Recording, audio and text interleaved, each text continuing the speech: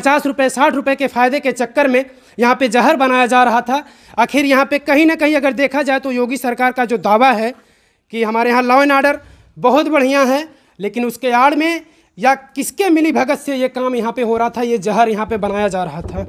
जिस जहर के पीने की वजह से अब तक तेरह लोगों की मौत हो चुकी है और अभी भी कुछ लोग अस्पताल में भर्ती हैं।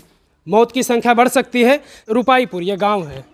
यहाँ पे दो दिन पहले शराब पीने से आज हमें ये सूचना मिली कि पहले दिन तो सात लोगों की, लेकिन आज तक हमें पता चला कि तेरह लोगों की मौत हो चुकी है। और शराब कारोबारियों द्वारा ये मौत नहीं कर सकते, हत्या की गई। शराब कारोबारियों द्वारा ये तेरह लोगों की हत्या की गई और अभी भी लोग अस्पताल में भर्ती हैं। मरने वालों की संख्या बढ़ सकती है। इसको देख लीजिए, ये घर है।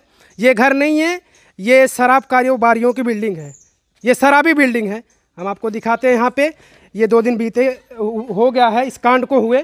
यहाँ पे लेकिन प्रशासन के द्वारा रात में यहाँ आकर दबिश दी गई और यहाँ पे तकरीबन दो टाली कच्चा माल ड्राम में भरा हुआ और भी जो भी जिस पदार्थ से बनाते थे शराब वो वो भी तमाम यहाँ पे सामान वह यहाँ पे मिला।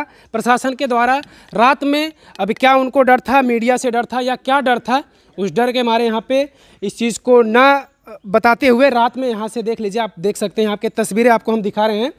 यहाँ पे जेसीबी के द्वारा खुदाई की गई। जेसीबी के द्वारा खुदाई करके यहाँ से सामान निकाला गया और यहाँ पे जो जहर बनता था, वो शराब नहीं था, वो जहर था। जहर दे देकर तेरह लोगों की हत्या की गई है शराब कारोबारियों के द्वारा। और एक चीज़ हम और बता दें, यहाँ पे जो बाहुबली के नाम से जाने जाते हैं रमाकांत यादव, सपा नेता जो हैं, वो उन्हीं का कोई रिश्तेदार है, भांजा बताया जा रहा शायद, वो भी पुलिस के गिरफ्त में है। पुलिस ने गिरफ़्तार कर लिया है तकरीबन दस लोगों को, और ये जिसका घर है, नदीम का घर है ये। नदीम को आज तड़के सुबह तकरीबन सवा पाँच बजे पुलिस ने मुठभेड़ में उसको भी पकड़ा। पैर में उसको गोली लगी है और उसको आजमगढ़ सदर में वो भर्ती है। आइए हम आपको तस्वीरें पूरा दिखा देते हैं। ये शराबी बिल्डिंग की, ये जहर जो यहाँ पे बन रहा था, जिससे तेरह लोग मौत की आगोश में आ गए। तेरह लोग मर गए और उनके परिवार का चीख और दर्द जो इस समय है, वो कोई सुनकर वो चीज़ बर्दाश्त नहीं कर पाएगा कोई भी। हर लोगों को वो, जब उनकी आवाज़ें आप सुनेंगे, उनका दर्द देखेंगे, कौन है आखिर इसका जिम्मेदार?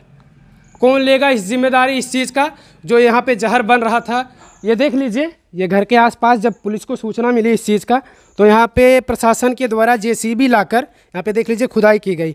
और खोदने के बाद यहाँ पे दो टाली मटेरियल मिला जो, जिससे ये जहर बना रहे थे, शराब बना रहे थे, आप सोच सकते हैं कि जो जान गई है, उसकी कीमत कोई नहीं अदा कर सकता। पचास रुपये से साठ रुपये या सौ रुपये की जो भी शराब की कीमत रही हो, उसी पचास और साठ रुपये के फ़ायदे में जहर बनाया जा रहा था। लेकिन जिस परिवार का चिराग उजड़ा है वो आखिर बताइए, कौन भर सकता है उसको? क्या कीमत है उसकी? किसी के जान की कीमत? किसी को अंदाज़ा नहीं है कि किसी व्यक्ति की जान की कीमत कितनी हो सकती है। लेकिन पचास रुपये साठ रुपये के फ़ायदे के चक्कर में यहाँ पे जहर बनाया जा रहा था। आखिर यहाँ पे कहीं ना कहीं अगर देखा जाए तो योगी सरकार का जो दावा है कि हमारे यहाँ लॉ एंड आर्डर बहुत बढ़िया है, लेकिन उसके आड़ में या किसके मिली भगत से ये काम यहाँ पर हो रहा था, ये जहर यहाँ पर बनाया जा रहा था? जिस जहर के पीने की वजह से अब तक तेरह लोगों की मौत हो चुकी है और अभी भी कुछ लोग अस्पताल में भर्ती हैं। मौत की संख्या बढ़ सकती है। पचास रुपये साठ रुपये के फ़ायदे के चक्कर में यहाँ पे जहर बनाया जा रहा था। आखिर यहाँ पे कहीं ना कहीं अगर देखा जाए तो योगी सरकार का जो दावा है कि हमारे यहाँ लॉ एंड आर्डर बहुत बढ़िया है, लेकिन उसके आड़ में या किसके मिली भगत से ये काम यहाँ पे हो रहा था, ये जहर यहाँ पे बनाया जा रहा था? जिस जहर के पीने की वजह से अब तक तेरह लोगों की मौत हो चुकी है और अभी भी कुछ लोग अस्पताल में भर्ती हैं। मौत की संख्या बढ़ सकती है।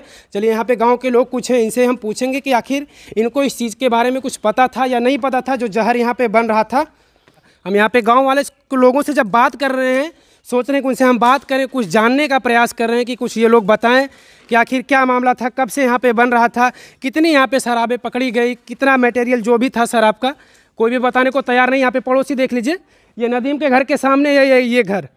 और ये घर वाले सीधा मना कर रहे हैं कि हमको नहीं कुछ पता है। यहाँ तक ये भी चीज़ ये बताने को नहीं तैयार है कि यहाँ पे प्रशासन कब आई, प्रशासन हरकत में कब आया जब लोगों की मौत हो गई।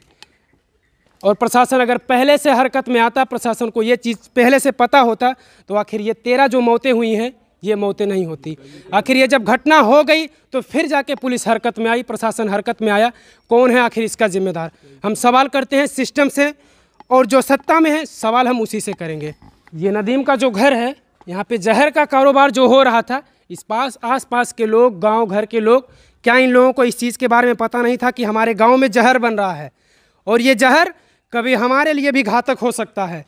लेकिन अभी देख लीजिए, ये जहर घातक बना। और तेरह लोगों की अब तक जाने जा चुकी हैं। लेकिन इस चीज़ को लेकर देख रहे हैं हम गाँव वाले से सोच रहे हैं कि बात करें लेकिन गाँव का कोई भी सदस्य हमसे बात करने को तैयार नहीं है। देख लीजिए जब हम उनको कैमरे में लाने की सोच रहे हैं तो वो किस तरह से भाग रहे हैं। अब यहाँ पे खड़े ये तमाशा देख रहे थे और यही तमाशा ये लोग ऐसे देखते रहेंगे। अगर इनके परिवार के साथ हुआ होता फिर भी इनको ये खबर नहीं रहती कि हाँ, हमारे गाँव में जहर बन रहा है। देख लीजिए गाँव के लोग किस तरह से भाग रहे हैं। सबको हर चीज़ सबको पता है इनके गाँव के पास जी भाई साहब नाम बताओ अपना। भैया भैया हम इलाहाबाद पढ़ते हैं। इलाहाबाद पढ़ते हो? कब आओ यहाँ पे? भैया दो दिन हुआ है। दो दिन हुआ और दो दिन पहले की ये घटना है। जी भैया। है? जब आए यहाँ पे तो क्या था यहाँ पे? माहौल प्रशासन कब यहाँ पे आई? जैसे हम यहाँ आए नहीं थे हम उधर से ही हम अपने मामा के पास चले गए थे। अच्छा अच्छा। जी।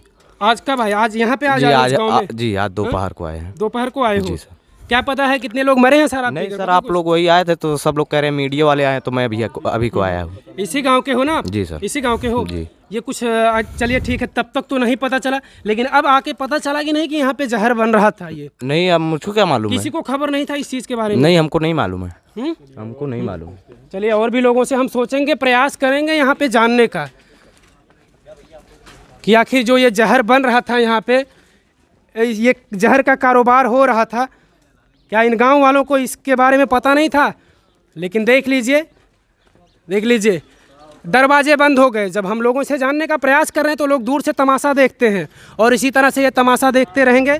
जब अपने परिवार के साथ इनके परिवार का कोई जहर पीकर उसके साथ कुछ ऐसा होता तो फिर ये इसी तरह से फिर तमाशा ही करते रहते। देख लीजिए किस तरह से लोग भाग रहे हैं और जब वैसे तो दूर से हम ये हमें देख रहे थे जैसे लगता कि हम बदाड़ी वाले हैं। तमाशा दिख, दिखाने के लिए यहाँ पे आए हैं।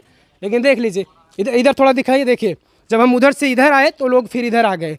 कोई नहीं यहाँ पे बात करने को तैयार है कि आखिर यहाँ पे ये जो जहर का कारोबार हो रहा था, इसके बारे में कोई बात करने को तैयार नहीं है।